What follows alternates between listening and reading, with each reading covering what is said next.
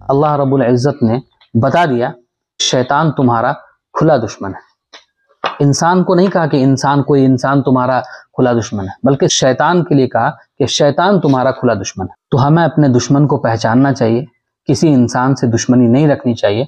अल्लाह ने जिसको दुश्मन डिक्लेयर कर दिया है, बता दिया कि इंसान का कौन दुश्मन है, उसी को दुश्मन समझना चाहिए, किसी इंसान को दुश्मन नहीं समझना चाहिए।